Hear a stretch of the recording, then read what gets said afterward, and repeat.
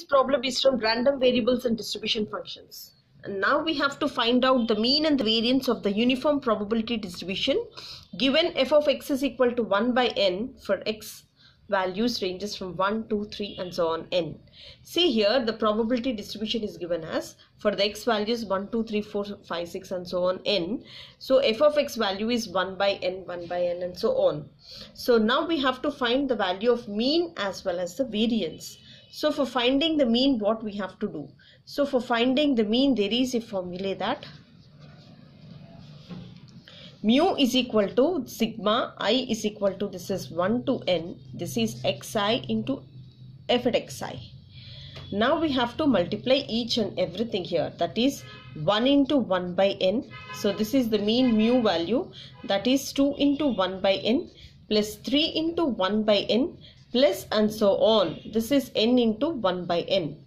See now what we have to take common? So i am taking 1 by n as common. If i take 1 by n as common what remains? 1 plus 2 plus 3 plus and so on n. These are all the sum of n terms. The sum of n terms is nothing but n into n plus 1 by 2 now I'll cancel this n and the mean mu is equal to this is n plus 1 by 2 so this is how we have to find out the mean. This is so simple that the sum of n terms is nothing but n into n plus 1 by 2. And now later we have to find the variance. So for finding the variance again there is a formula that is sigma i is equal to 1 to n. This is xi square f into xi minus mu square. See for finding the variance this is sigma square is equal to 1 square into 1 by n. See here this is 1 square into 1 by n plus 2 square into 1 by n plus 3 square into 1 by n plus and so on. So this value is n square into 1 by n minus mu square. What is mu here? Mu is nothing but n plus 1 by 2 whole square. So here the mu value will be as you know that mu value is n plus 1 by 2 here. So now I am going to substitute this one. The sigma square is going to become 1 into 1 by n. This is 4 into 1 by n plus this is 9 into 1 by n plus and so on. This is n square into 1 by n minus mu square. What is mu here? This is n plus 1 whole square by 2 square which is equal to 4 now this will be the variance value.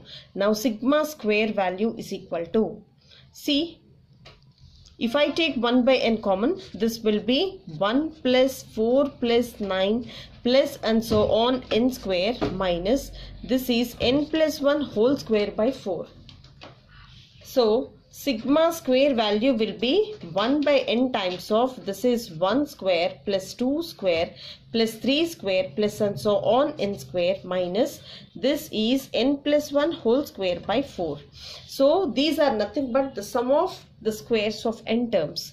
So as we have a formula that sigma square is equal to sum of the squares of n terms is nothing but n into this is n plus 1 into this is 2n plus 1 divided by 6 minus this value is nothing but n plus 1 whole square by 4 and see now n square sigma square is equal to 1 by n times of n into n plus 1 into 2n plus 1 by 6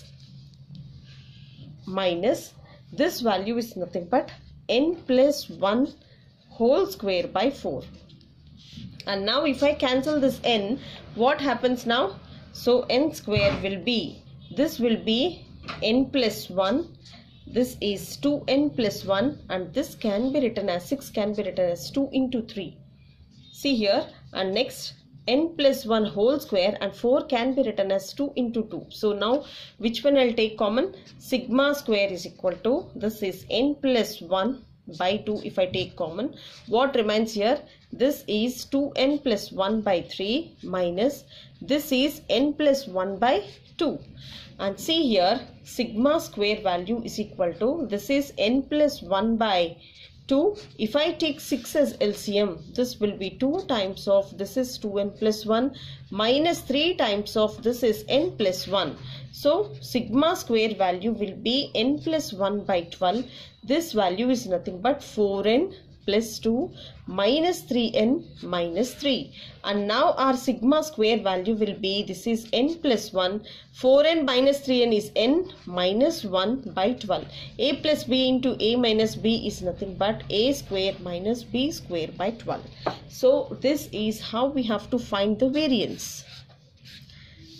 See this is also very easy First of all, we have to multiply these two for getting the mean value. So mean is equal to the sum of the n terms is n into n plus 1 by 2 and so we got the mean mu is equal to n plus 1 by 2.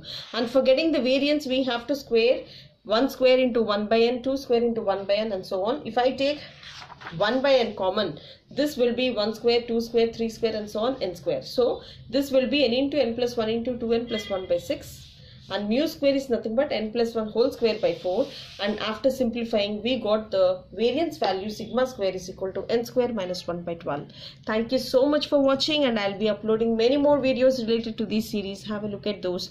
And if you really like you know what to do take time to raise your thumb pass it on to your friends and subscribe to this channel. Thank you so much